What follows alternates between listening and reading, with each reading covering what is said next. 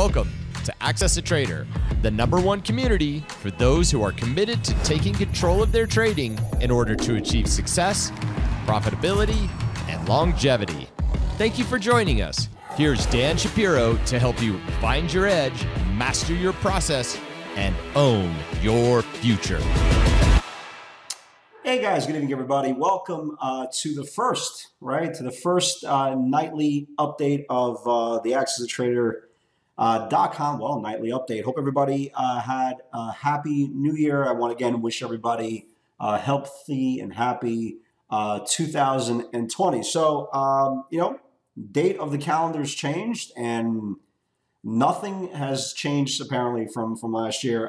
again, the market starts up uh, gaps up today. Uh, news from this morning. Uh, Trump is going to sign off on phase one. And I said to myself, well, I mean, what's okay? What's the big deal? I mean, what's the big deal about this news? I mean, this news was was out there already for for weeks and weeks and weeks, and who cares, right? 170 point move. Again, there's you know very little people around. You know, who's going to support this rally? Who's going to you know sell off this market? Who's going to buy these dips? Like, you know, who, who's around? Like, who's around? Everybody's still on vacation.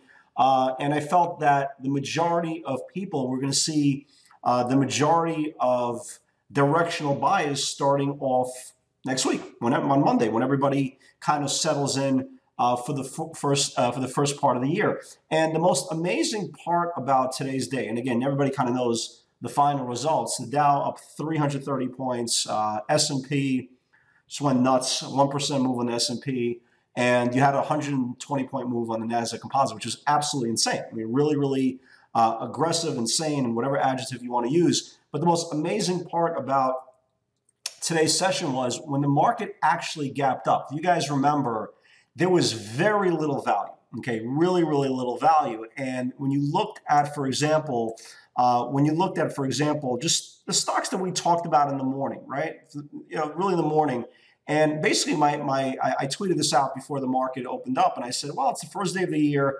Everybody's off a third of the volume and a huge gap of, oh, and by the way, uh, we're, we're gapping into supply, right? Most of the stocks were gapping into supply. And I go, new traders, expectations, emotional levels are through the charts. We're going to kill it. We're going to do this. We're going to do that. What can possibly go wrong? And the most important part of today's session in the morning, because of everything that we talked about in the morning strategy, I said, look, take a step back, man. This is just like any other Thursday, before you, you know, you jump off a cliff and try to land on anything, just understand this is all emotions talking, right? This is like any other Thursday. It's all about value. It's all about value. It's all about value. Again, and I kind of underscored here, uh, before you can become a better trader or try to be a better trader, you have to be a smarter one. And, you know, the, the I was really, um, I was really to the point of today. I said, well, you know what? There's really nothing that I love because everything is gapping the supply just let me see what happens, right? Let me see what happens. And we, we started looking at the pivots, and I go, ah, really nothing, anything great, like really nothing great in the beginning, right? I looked at Shop. I go, okay, Shop looks okay. You know, finally went to the end of the day, and we'll talk about that in a second. Roku, I said, eh, you know, maybe there's a little bit of supply, 3780. Again, nothing great. You could see it, nothing great. Uh, everything was gapping into supply. I didn't love anything. NVIDIA, yeah, you know, 3960, 3980. Yeah, but again, maybe that one goes. Uh, Apple, and again, I thought the first move on Apple today was going to be on cash flow, right? Um, there was there was a move today. Uh, the initial move was from 296.80 to about I think it was two I think it was 298, right? Somewhere around the 298. So there was like a dollar and change. And hey, caught the move, you caught the move, it's all good, right? It's all good. Then again, you could see how much value we have. I started talking about Chrome, right? So, so you could get an idea of how this day was setting up because, only because everything was gapping into supply. And again, I always say this in, in, every single trading day. Again, we don't trade because the market's open. We trade because there's value. And I didn't see a lot of value, right? I didn't see a lot of value at the open. I said, all right, you know what? No big deal. You know, if there's nothing today, there'll be nothing today. And slowly but surely, the market started waking up right? And I notice here, you, you started seeing me, this is seven hours ago. I go, start taking sales, right? It's going into supply, start taking sales. And here was Apple, just to give you an idea. So here was Apple, and, and it turned into uh, something much more. You know, and a lot of you guys are still holding calls, um, but here was Apple. So here was this 296, right? Here's this 296 80s area, and the stock explodes right into supply, which is good, which is absolutely good. And that's where you technically need to make sales. Again, there's no guarantees they're ever going to confirm and go higher. But again, for all you guys who traded the right way, and again, this is why I always say, always keep a runner. You never know how big the runner is going to get. And we'll talk about Facebook in a second. Uh, I kept the runner in Facebook. It's approaching 210 right now. We'll, we'll talk about Facebook in a second. Um, so Apple confirmed that a lot of you guys, know, just it's just just just crushing the stock. We just see we just started seeing Apple call volume come in, the 300s, the 305s, like really really aggressive call buying, and they just absolutely exploded the stock. It actually reclaimed that 298 level, and now the stock is at almost 301 uh, after hours. Just just an incredibly big move. Um, incredible move, just really, really big move. This one I kind of screwed up. This one I kind of screwed up because again, I, I kind of lost my window, right, for like the whole day. So I traded this STN8, okay, and usually I don't trade stocks that I don't know anything about. So I bought this STN8, and for, for me, I'm looking at it, I'm like, well, let me see what I can get out of it. You know, I'm not, I'm not, I never traded the stock. I never, I don't know anything about it. Let me see what I can get out of it. And I was like, well, you know, watch this 42 level. Starts building this 42 level maybe you could do something. So it went up a little bit, came back in, went up a little bit, came back in, went up a little bit, came back in. I was thinking to myself, well, what the hell am I doing, right? I already missed probably about 90% of the, my window today. Everything's gapping into supply. What, why the hell am I in this thing? Like literally, why the hell am I in this thing? So actually, I actually wound up losing 20 cents on this trade, which is which is ridiculous to say, but I actually did because again, I never traded the stock. I wasn't comfortable. It was taking like forever to work out. So I wound up taking a loss and the stock actually ran up a dollar. Not, not here nor there. But things got a little bit better as the market started waking up.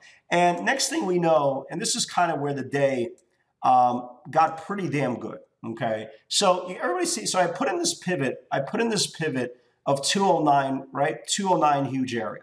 And the reason why I started putting on 209, I wanted everybody to kind of get ready for this 209 area for tomorrow. Okay. Because we started watching, you know, when the stock was like 208, okay, when the stock was like 208, we started seeing big call volume come in, like really, really big call volume come in. Uh, the 210, the January 210s, the 215s, the 220s. So when it got down, you know, when it got into 60 minute support, I said, all right, let me, take a shot, right? Let me take a shot.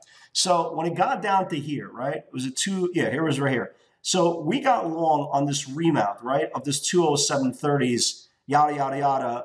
The stock finally takes out, finally takes out 209. Uh, I actually sold a little more after the close. I'm holding a baby, baby runner. It's approaching 210 right now. Just really, really good. Hopefully tomorrow, uh, hopefully tomorrow this thing could stretch out to like 11, 11 and a half, but just, yeah, just really, really strong move on Facebook, uh, on Facebook. And then we started watching, and again, again, guys, for all you guys in the live webinar, um, I, I, forgot I forgot to put this on the Twitter feed, so I apologize for all you guys on the Twitter feed. For all you guys in the live webinar, you obviously know uh, Amazon. There was a really big pivot here, right? We started watching. I mean, there's been call buying all week into weakness, okay, and then we started seeing call buying, right, coming in. You started seeing call buying coming in on uh, the 1900s, right, for tomorrow, the 1900s, the 1915s, the 1950, the 2000s, right? Not for 2000 for tomorrow, but for 2000 towards end of January. And then next thing you know, we talked about this 1984 pivot, this 1988 pivot, and now it's at 1900. Man, this thing tomorrow starts putting in a new base. And again, if the futures, for all you guys are long calls, if the futures are if futures going to gap up tomorrow, you know, look at the weekly. Just just look at the weekly potential for Amazon. If the Amazon com- confirms this weekly area of like 1901, 1902, this thing has a punch a shot at 1950. Maybe not for tomorrow, but then but then again, stock was at 50 today. Why can't go up another 50? That's exactly what it did last week. So yeah, Amazon looks really good. Congratulations to all you guys who are holding calls uh, and just doing great. So congratulations there uh, as well. And, and, the most amazing part about today's session was that the, the, the rally came, not the gap up, okay, not the gap up, but the rally today came out of nowhere, okay, it came really out of nowhere. And it's very rare that stocks go into supply, right? Like if you look at Amazon, for example, in you know, intraday, right? So Amazon gaps into supply and then starts kind of fading down. Okay.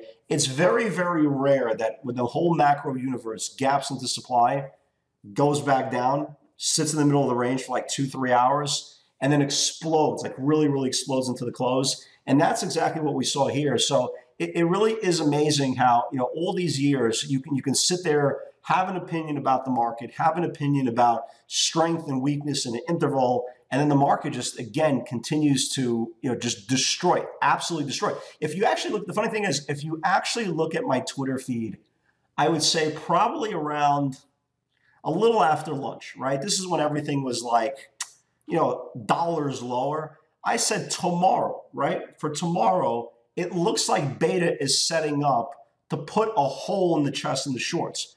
And what happened in the last hour is basically what I thought was going to happen for tomorrow happened in the last hour. So you can really see how aggressive uh, the market continues to be. Again, every single day I say to myself, man, I have to be cautious. I have to be cautious. And again, every single day, the market just completely just destroys, absolutely destroys eager shorts, early shorts, late shorts. It's just it's just an absolute uh, destruction. It's like it's like a locust. It literally is a locust uh, and attacking all uh, attacking all, all bears, which is the most amazing part. But again, we all know it's not going to last. Okay, well, we all jokes aside and say, you know, like I tweeted out, I go, wow, I'm kind of disappointed. S&P was only up one percent. I thought it was, it was going to be at least eight percent. I'm obviously joking around. It's obviously tongue in cheek. But again, you, you get the sense of, holy crap, I mean, how long can this possibly last?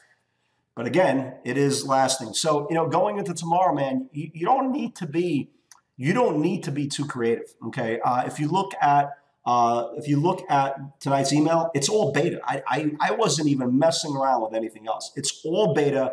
It's all names. If they confirm today's price action, this market should, you know, again, the market should at least uh, go again. So again, sometimes you don't have to overthink. Uh, sometimes we just got to react. So uh, again, let's talk about it. Uh, Amazon. I think this could be. Let's start off the night with Amazon. Again, last week's high, 1901.40, right? So just call it 1901, 1902. Um, this thing gaps above this 1902, the opening range high. Again, look at the weekly. Look at the weekly potential, folks. Right? Look at the weekly potential.